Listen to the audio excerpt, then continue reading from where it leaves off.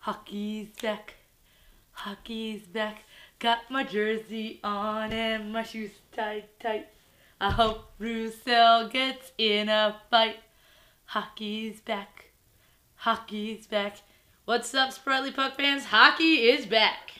Once upon a time. They are beautiful and precious creatures that should never be harmed. Is that special teams? More forwards! Epic fail. I mentally don't me crazy. More like, shoot me in the head. Hopefully they know what hockey is. Hi, I'm Nikki. This is Sanders, and you're watching the Spritely Puck. First of all, before we get into the game, we're going to talk about the pretty new boards that we got for the season.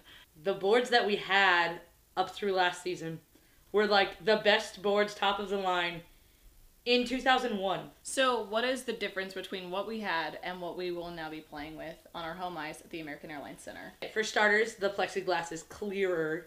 I mean, it's still shatterproof like it's always been, or shatter resistant, I should say.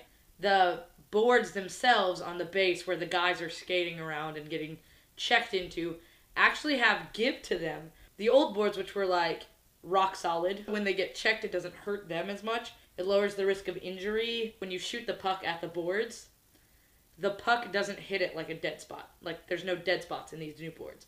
They're they're so- a softer material, so it actually forces the puck around the ice. So, one of the big things about Dallas playing the Blackhawks for their home opener is that the Hawks are a really good team. In case you've been living under a rock, this year's uh, attendance for the home opener was a lot better even than last year's by a couple thousand. We completely sold it out. Really, we did see a lot of Blackhawk fans, obviously, but there were a lot of people out there in Stars jerseys and t-shirts. Wearing, wearing victory green. That's right. So Roussel was out, third line. Mm-hmm.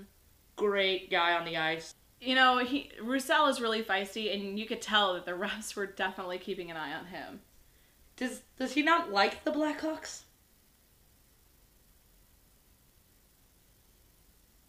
I think it's a little bit of mutual animosity. There were numerous high tension points where the refs just kind of babysat Roussel. You have to understand that, you know, if somebody hits him and he goes up there and he's like, hey, you hit me, I'm going to hit you back, he can end up with one of those penalties that will hurt us later.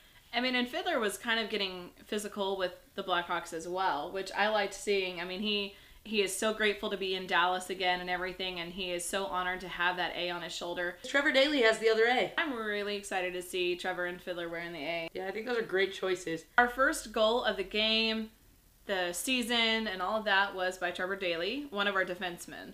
Who, by the way, is the first defenseman to open our season with scoring since 2010.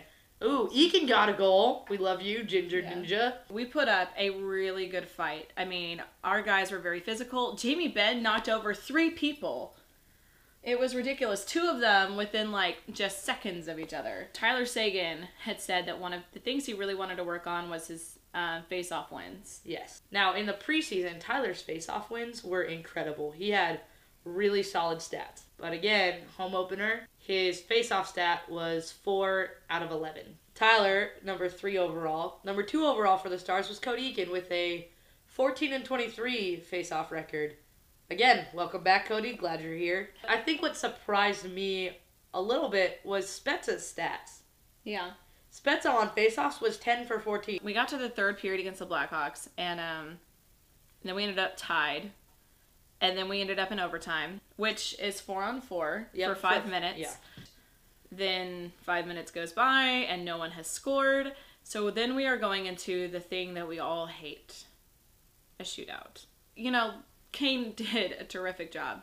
It was a good goal, but we were able to go up to practice the next day. Right. So we had them signing their uh, their picture Except for poor Brenden Dillon, whose picture was not yet put in the program. Good old Patrik Nemeth comes out. And I'm sure the people who make the program love you, but not enough to get your number right.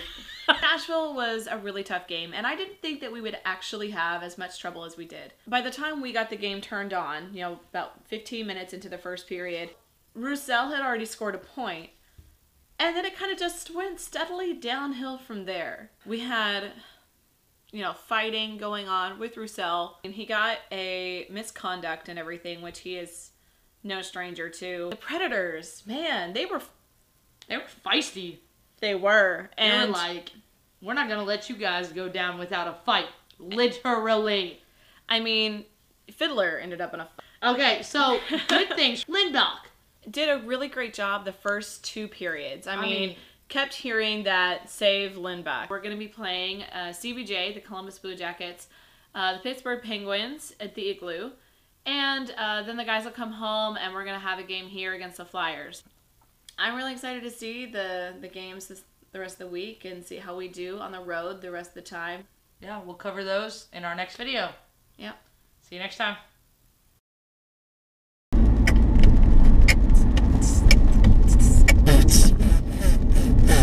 Your beatboxing sounds like baby farts.